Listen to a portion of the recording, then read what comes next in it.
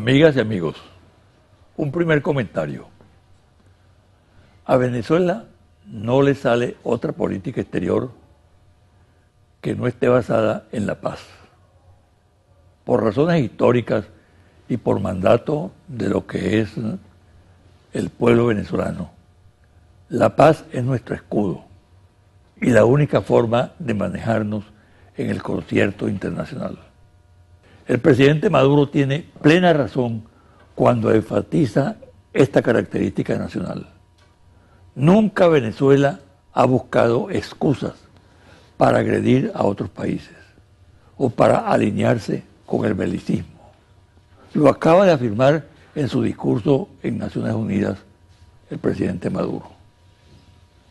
Con esta ratificación por parte del jefe del Estado venezolano, el país le sale al paso a las truculentas afirmaciones del presidente de la República Cooperativa de Guyana, David Gerenger, quien de manera destemplada y provocadora, pocas horas después de, de reunirse con el mandatario venezolano, declaró que el vecino venezolano se preparaba para atacar militarmente a Guyana. Esto dicho, sin aportar prueba alguna, tan temeraria afirmación del gobernante guyanés se fundamenta en un argumento despreciable desde todo punto de vista, en la afirmación irresponsable de que la posición venezolana abusa de su poder por tratarse de una nación pequeña y sin recursos como es Guyana. Seguramente que el lenguaje del jefe del Estado guyanés lo alimentan los laboratorios de guerra sucia transnacionales. Es así como Guyana asume y utiliza la condición del débil frente al poderoso, en este caso Venezuela, recurriendo a aquella imagen sobre el americano feo, muy en boga en el pasado. Ahora, con motivo del caso de Esequibo, el agresor sería el venezolano feo, intentando avasallar a una nación pequeña y militarmente débil. El lenguaje y la doctrina de la paz tienen un costo. Encarar la provocación de quienes saben que la Fuerza Armada venezolana jamás cruzará fronteras para agredir a países hermanos. Ese costo lo estamos pagando actualmente frente a un gobernante que desprecia las reglas de juego y que pretende incumplir compromisos como los provenientes del Acuerdo de Ginebra. Recomendación que hago en esta oportunidad. Serenidad y más serenidad frente al provocador y despliegue a fondo mundialmente de las razones que asisten a Venezuela para reclamar un territorio que es suyo y del cual Venezuela fue despojado por las potencias imperiales. Un segundo comentario. Los pillos de siempre se las ingenian para hacer sus jugadas. Unos 30 expresidentes, por ejemplo, se pusieron de acuerdo para erigirse en instancia mundial para juzgar a Venezuela. Después el turno le tocará a otras naciones. Para decidir de esta manera, sin presentar pruebas de ningún género, sin procesar información válida y veraz, sin escuchar a la otra parte, en este caso al gobierno bolivariano y al chavismo, guiándose solo por los datos que le suministra una oposición que no tiene nada democrática, es una oposición, por el contrario, terrorista y aventurera, y definitivamente fascista, implicada, como se sabe, en felonías como el golpe contra el presidente constitucional Hugo Chávez del 11 de abril, del salvaje sabotaje de la industria petrolera, las guarimbas, el asesinato de más de 200 dirigentes agrarios y los nexos con la política imperial de los Estados Unidos. Estos exmandatarios, con amplios prontuarios por peculado, corrupción, violación de los derechos humanos, expertos lobistas y traficantes en contrataciones con poderosas empresas, tienen tarifa para todo. No hacen lo que están haciendo por amor a las instituciones de la democracia, que ellos mancillaron cuando fueron gobernantes. Lo hacen porque cobran en dinero contante y sonante y también en especie. Carecen de moral y han pateado durante todas sus carreras elementales principios éticos. Para una nación digna como Venezuela y un pueblo digno como el venezolano, es motivo de orgullo recibir el ataque de la canalla dorada. de personajes totalmente descalificados. Pausa y al regreso converso con el párroco de la iglesia de San Francisco, sacerdote jesuita Numa Molina.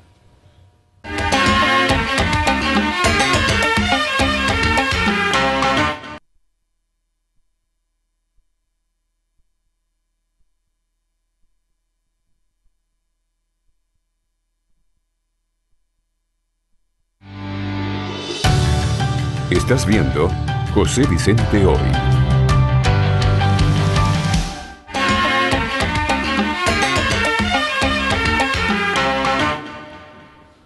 El tema del Papa Francisco, la situación en la Iglesia Católica, el impacto que su mensaje ha producido o generado en el mundo, su extraordinario discurso en las Naciones Unidas, constituyen un tema realmente importante para todos, creyentes o no creyentes. Vamos a hacer el programa de hoy, la entrevista, con un sacerdote jesuita, párroco de la iglesia de San Francisco y acompañante espiritual de Ciudad Caribia, una ciudad muy hermosa que todos los venezolanos deberían conocer tanto por su estructura actualizada, moderna, como por la calidad de su gente. Se trata del sacerdote jesuita Numa Molina, amigo de este programa. Bienvenido. Gracias, José Vicente. Es un, siempre una alegría, un honor estar de nuevo en tu programa por la audiencia y por todo el significado que tiene este espacio en la televisión venezolana. Gracias. Padre, ¿qué cree usted que ha movido a el cardenal Bergoglio, hoy en día el Papa Francisco, a asumir esta posición? ¿Qué ha impactado tanto en el mundo? Las eh, acciones de los cristianos como Bergoglio mm, no se dan de hoy para mañana, son un proceso. Y eso él lo vino viviendo ya desde Argentina.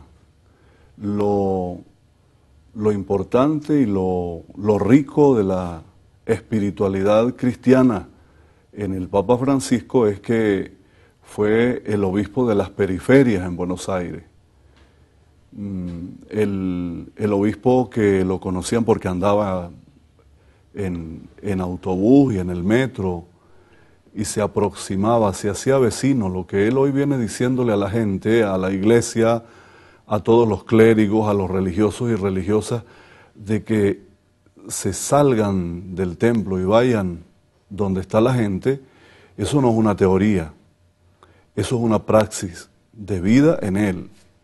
Y eso lo vivieron y lo sintieron los, eh, las barriadas, las periferias argentinas. No en vano viene de la teología del pueblo, que así se llamó la teología de la liberación en Argentina. Bergoglio es más de la teología del pueblo, que fue un modo de ver la teología latinoamericana que nace con Medellín. Sin embargo, eso que usted dice es cierto era un sacerdote, un obispo, un cardenal, que se acercaba a los pobres, que iba a las barriadas, que estaba muy vinculado a obras sociales. Pero en sectores del país, de Argentina, había reservas con respecto a él. Le atribuían cierta, cierta tibieza con respecto a los militares genocidas. Por eso mucha gente piensa que qué operó para que el cardenal Bergoglio se convirtiese en este momento, en este hombre que toca los temas más difíciles, más complicados, con propiedad, con sentido creativo. Que pues, aparte de ese dato que usted dice que son procesos de maduración personales, ¿no? Pero, ¿qué otro dato puede? Porque algunos le dicen para salir al paso a esa pregunta, no, es porque es jesuita. Ustedes los jesuitas tienen el privilegio de que todo el mundo los considera sumamente inteligentes, que están en todo, que adelantan las horas con mucha capacidad. Yo creo que mm, también, aunado a toda esa experiencia pastoral, ahí podríamos mm, tomar en cuenta mm, que ha sido un hombre como de una gran capacidad para negociar. Eh, de hecho, justamente en, en, Argentina fue tildado de que estaba a favor de la dictadura en algunos momentos, porque él sabía en qué momento tenía que hablar y tal vez muchas veces fue fue eso lo que pasó, porque cuando se, se le acusó de que algunos jesuitas habían sido eh, desfavorecidos por él como provincial en la época, superior de los jesuitas en Argentina, eh, estos mismos jesuitas después aparecen declarando que no fue así, que el cardenal, que el provincial, para ese momento el padre Bergoglio, intentó, hizo todo lo posible por defenderlos eh, una cosa que vemos en la diplomacia de Bergoglio, por ejemplo, es cómo él manejó con tanta discreción todo el tema del restablecimiento de relaciones Cuba-Estados Unidos. Eso no se supo, eso no trascendió, eso se fue trabajando, diríamos, sin hacer ruido, eh, porque importaba por encima de todo eh, que, se, que se llegara a un encuentro entre los dos pueblos, ¿no? y que se, y que se, se eliminara ese odioso bloqueo que el mundo entero ha condenado. ¿no? Entonces Bergoglio yo creo que en eso ha sido eh, un hombre muy parco, muy capaz a la hora de tomar decisiones sin importarle que, que digan cualquier otra cosa, que interpreten mal de momento un silencio. Sin embargo, eh, cuando llega a Papa, hay que entender lo que significa ser mm, papa en un momento como el que vive el mundo, eh, lo que significa ser, venir de la periferia y asumir un, un rol profético, porque el papa está llamado a eso, a ser un profeta, y yo creo que él lo está haciendo. Es, eso es lo que ve el mundo. Eh, un hombre que está hablando con un lenguaje sencillo y profundo, que se lo entienden las mayorías, que se lo entienden los teólogos y se lo entiende el pueblo humilde y sencillo, que, que, habla el lenguaje del pueblo además.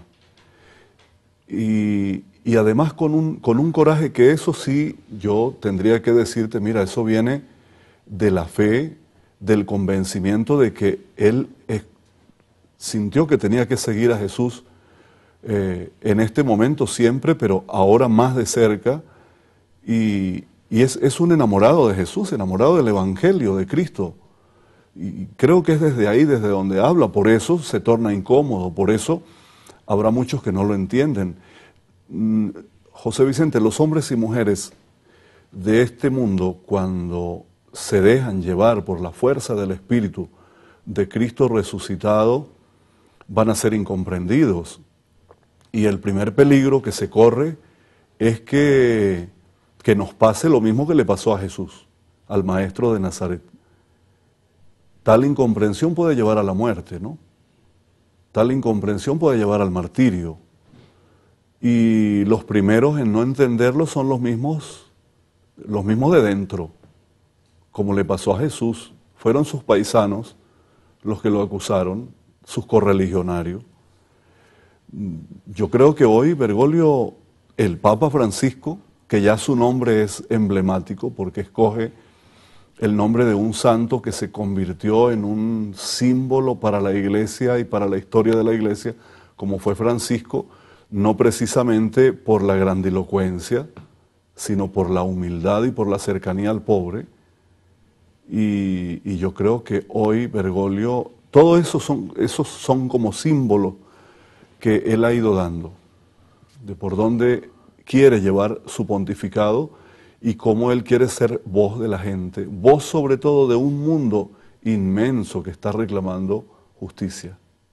Sin duda, Padre, que Él, Francisco, ha revaluado la palabra. La palabra es fundamental, es determinante, ¿no?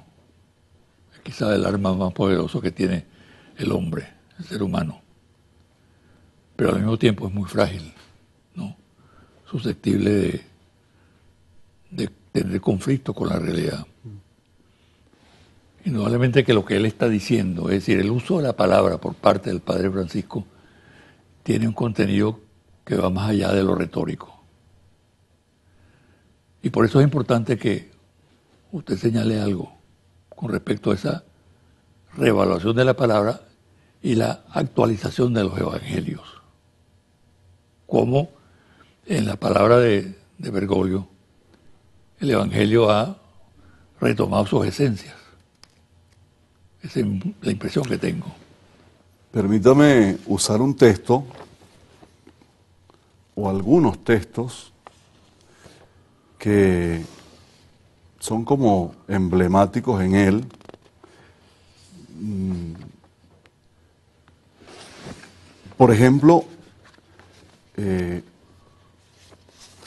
este que es muy político, político de la gran política, la, de, la, de la política como ciencia, hablando del futuro de la humanidad. Si cuando escuchas en la boca de Bergoglio pronunciar estos textos, dices, bueno, es que esto yo lo había oído de otros, pero es que este viene acompañado de un peso tremendo que es el testimonio. El futuro de la humanidad no está únicamente en manos de los grandes dirigentes, las grandes potencias y las élites.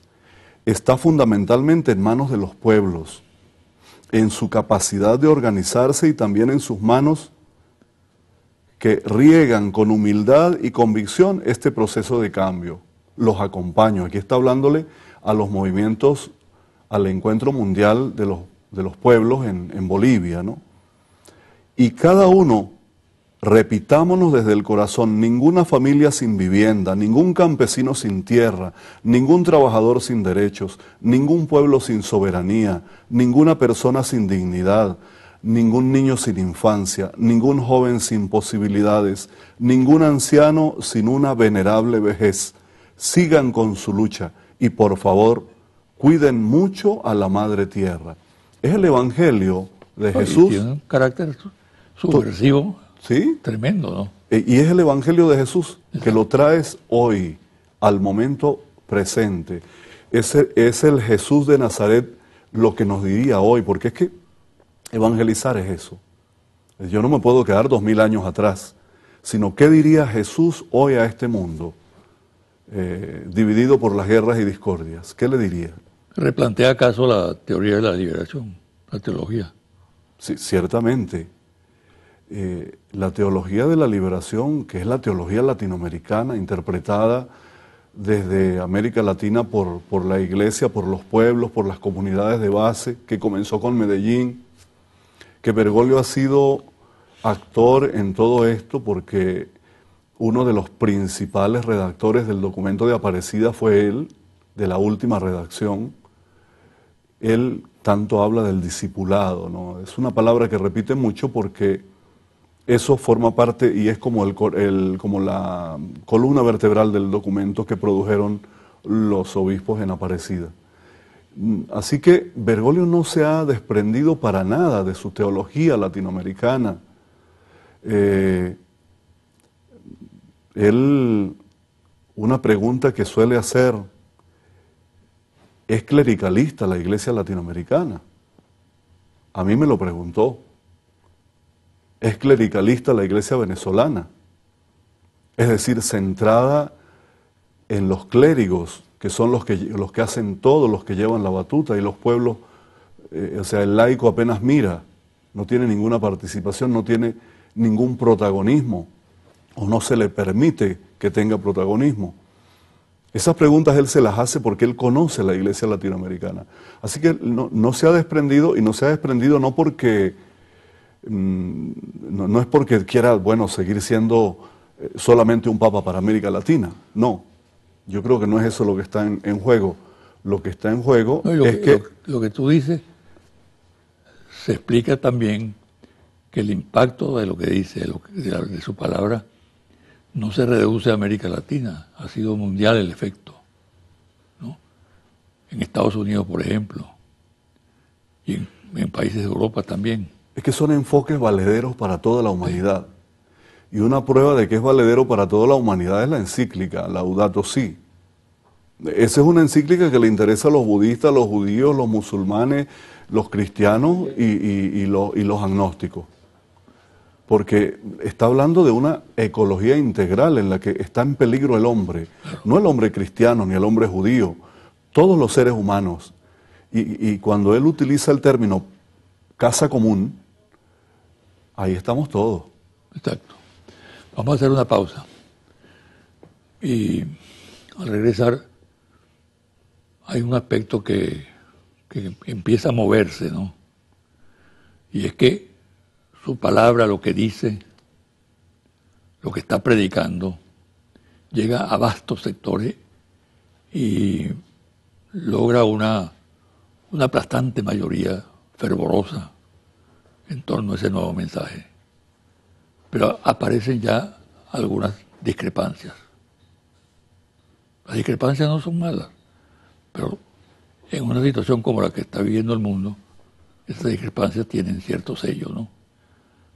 Al retornar de la pausa vamos a hablar de ese tema.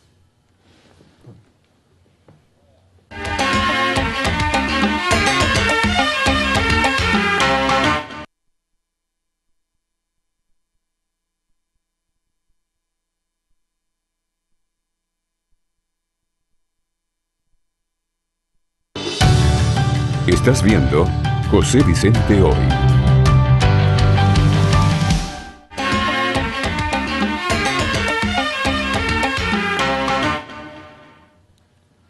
Padre,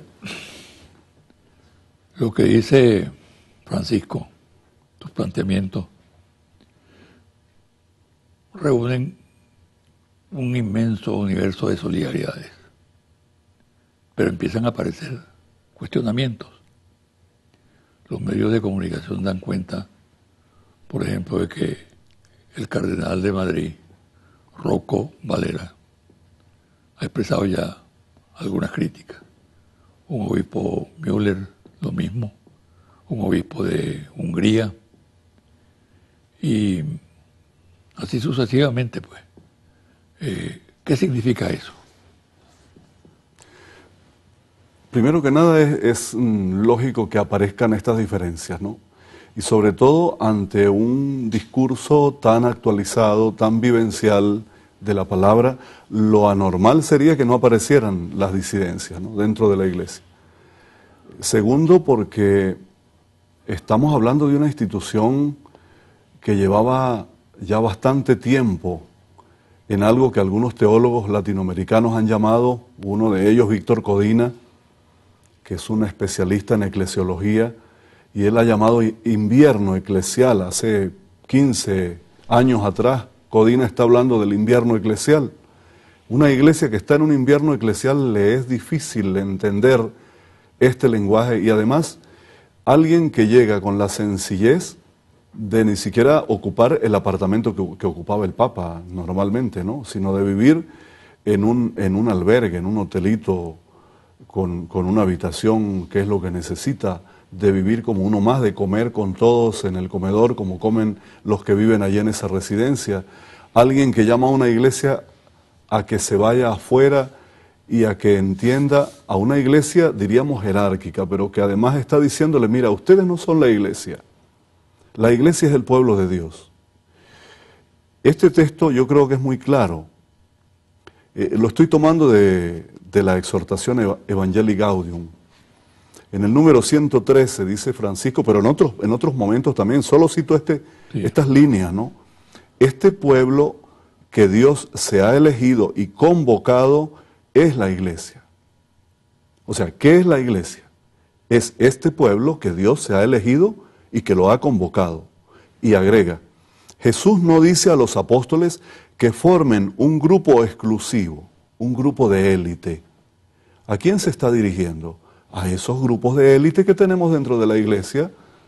Llámense conferencias episcopales, consejos presbiterales, llámense congregaciones religiosas, grupos de obispos o señores feudales que viven en un palacio y que lo sabemos que él, él, ha sido muy duro con esto porque el tema de la pobreza, él sigue insistiendo en este tema de la pobreza en la iglesia, la pobreza eh, en la iglesia jerárquica, ¿no? porque la iglesia pueblo de Dios ya es suficientemente pobre como para hablar del tema y hablar con propiedad. La posición de la iglesia católica, porque sorprende y llama la atención, yo he escuchado bastantes comentarios, que por ejemplo la conferencia episcopal venezolana, muy prolífica en pronunciamientos que tienen que ver con la política incluso, eh, no ha hecho ningún pronunciamiento al respecto. No se observa ninguna declaración, incluso particular de algunos obispos, eh, respaldando o, de alguna manera reconociendo lo que representa en este momento Francisco. ¿A qué obedece eso? Yo he visto algunas citas de ellos en algunos documentos, citas.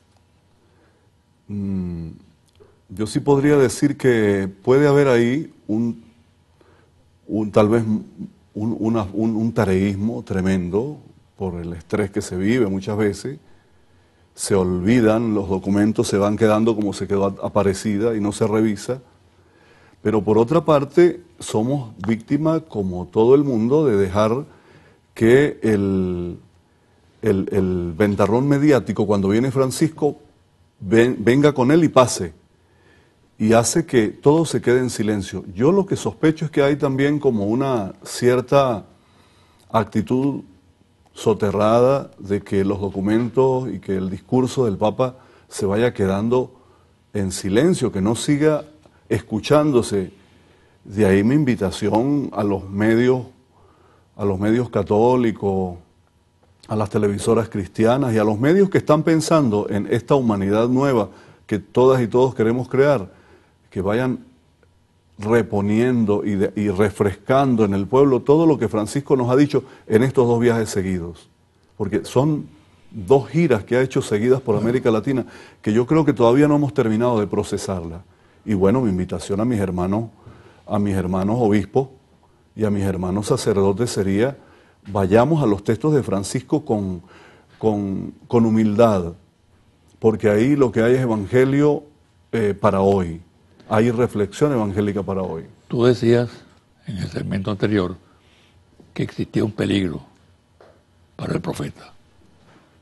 Yo creo que él es un profeta, y por tanto existe un riesgo. No solamente el riesgo que se le viene inmediatamente a la memoria de un crimen, un asesinato, sino ese riesgo del silencio. ¿no? Sí. Es una manera de matar al mensajero. Hoy sí. Hoy en el mundo mediático que vivimos, ese es un modo, un silencio mediático, para que no se oiga más. Eh, otro modo puede ser un silencio eclesiástico de la, de, la, de la iglesia institucional. No se hable de eso, no se publique, no se mencione. Eso puede ser otro, otro modo, porque eh, tú lo decías en la columna tuya del lunes, que me pareció muy interesante y, y lo menciono ahora, ¿no? Decía que es un profeta desarmado cuya única arma es la palabra y la palabra de Dios, el Evangelio en la mano. Es alguien que va por el mundo refrescándonos el Evangelio, pero al estilo del siglo XXI.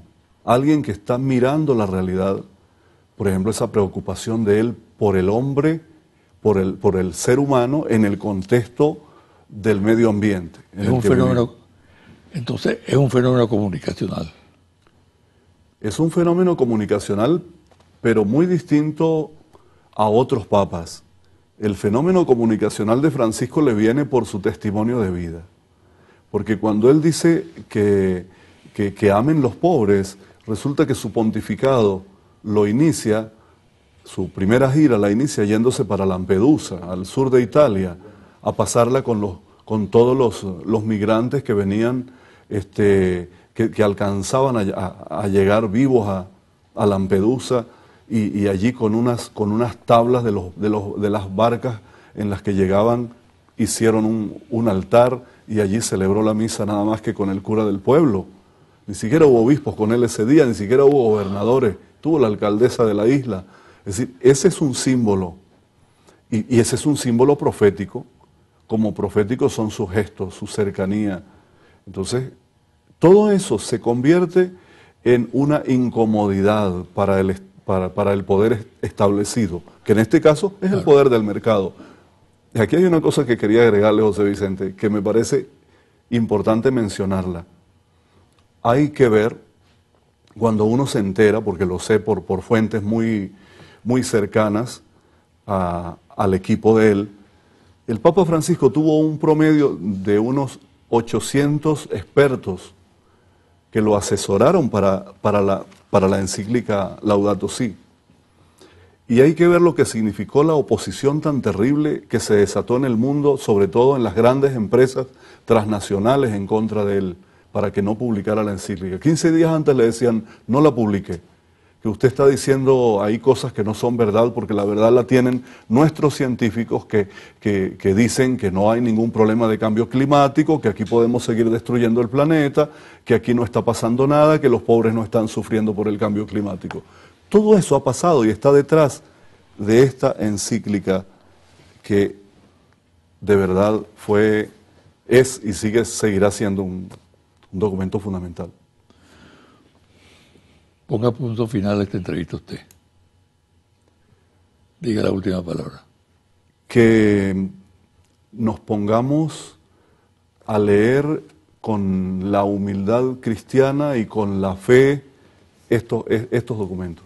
Yo, lo que invitaría a, a, cada párroco, a cada religiosa, a cada cristiano cristiana, monta tu pequeño taller de reflexión, de oración en su parroquia, allá en el barrio, léanse estos dos documentos de Francisco, Laudato Si y Evangelii Gaudium, y, hagamos la oración, porque esto es Evangelio para hoy hecho oración. Ese sería mi mensaje, porque eh, corremos el peligro de tener en las manos los documentos de un profeta que nos está hablando en nuestro tiempo y dejarlo pasar. Y eso sería una pena para el momento que vive la humanidad. Bueno, muchísimas gracias. Muchas gracias a ti. Gracias por la invitación. Una pausa y a regresar a los confidenciales.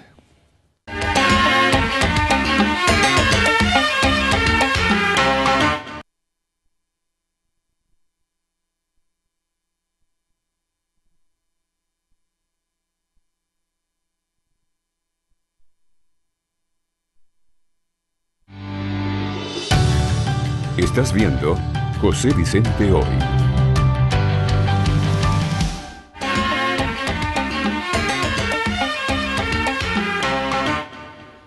Y ahora los confidenciales.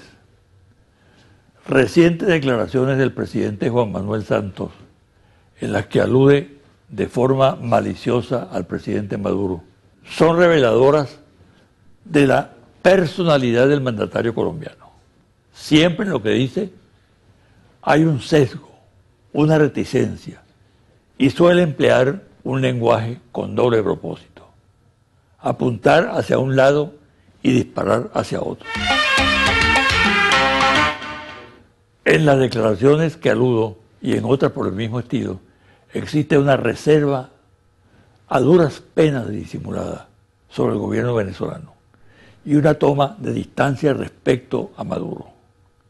En el pasado se habló mucho del antivenezolanismo de la saga de los santos, que en diversos episodios históricos ha mostrado intenciones poco amistosas hacia Venezuela y cierto desprecio por las instituciones venezolanas y la dirigencia política del país.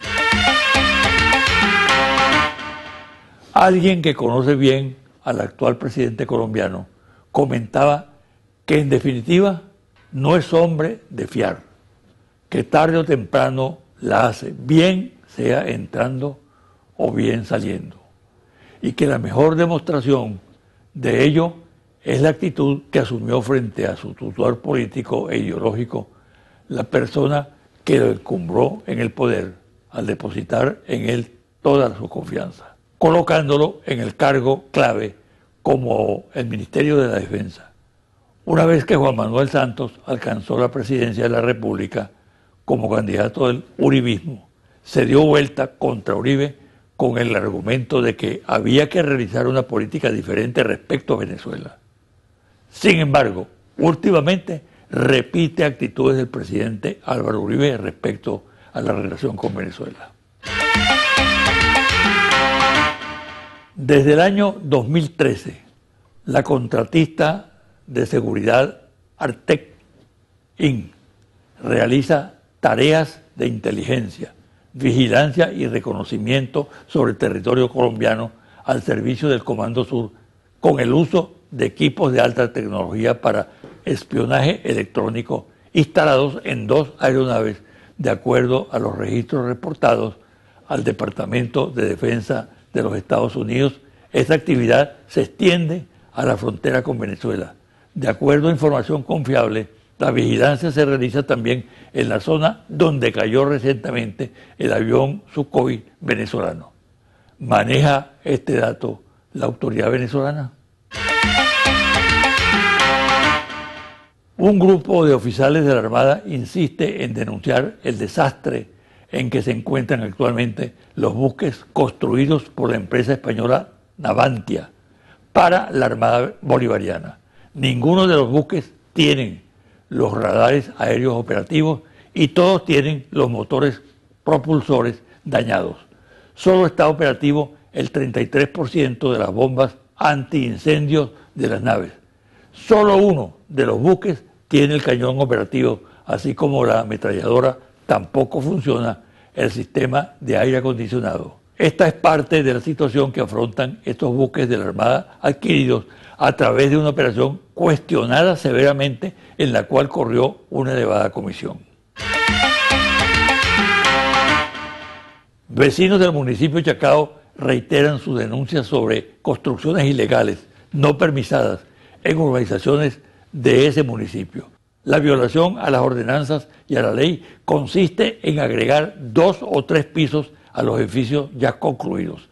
A un grupo de ciudadanos que protesta por este abuso que afecta a la propiedad privada y deteriora las urbanizaciones, que concurrió ante el director de fiscalización y un abogado asesor de la Dirección de Ingeniería de Chacao, luego de 30 minutos de reunión, manifestaron que este asunto de las obras ilegales escapaba de sus manos, ya que, comillas, en Venezuela no hay Estado de Derecho y que deberían entender la situación en que se encuentra el país.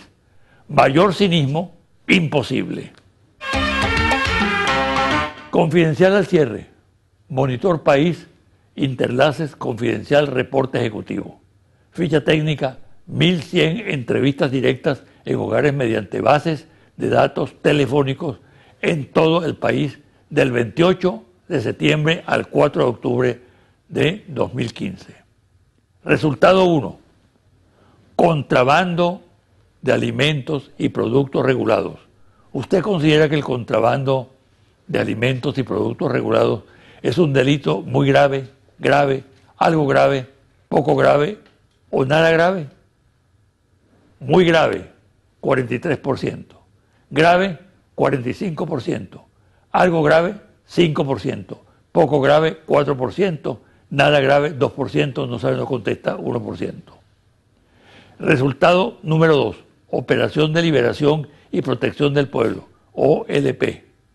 Recientemente el gobierno del presidente Maduro implementó la llamada Operación de Liberación y Protección del Pueblo, OLP, para combatir la delincuencia y la inseguridad. ¿Está de acuerdo o en desacuerdo con este operativo? De acuerdo, 78%. En desacuerdo, 19%. No sabe, no responde, 3%. 96% de quienes se autodefinen como chavistas está de acuerdo con la Operación de Liberación y Protección del Pueblo, OLP. 76% de quienes se autodefinan como NINIS está de acuerdo con la Operación de Liberación y Protección del Pueblo, OLP. 59% de quienes se autodefinan como opositores está de acuerdo con la Operación de Liberación y Protección del Pueblo, OLP. ¿En qué medida considera usted que este operativo será efectivo para combatir la delincuencia y la inseguridad? ¿Muy efectivo, efectivo, algo efectivo, poco efectivo o nada efectivo? Muy efectivo, 13%. Efectivo, 29%. Algo efectivo, 20%. Poco efectivo, 17%. Nada efectivo, 18%. No saben lo que responde, 3%. Análisis de los principales problemas del país que más preocupan a los venezolanos son el desabastecimiento, la inflación y la inseguridad. Sin embargo, cuando le preguntamos a los ciudadanos de los circuitos electorales sobre los problemas más graves en su localidad, la inseguridad surge como el principal problema. El factor que más está impactando en la decisión de voto tiene que ver con la evaluación de los electores acerca de la gestión de gobierno, principalmente en relación a la inseguridad. En este contexto, la operación de liberación y protección del pueblo OLP ha tenido una influencia importante en la calificación positiva del desempeño del gobierno nacional y en la reducción de la brecha electoral. Me despido hasta el próximo domingo a las 9 de la mañana por este su canal Televen.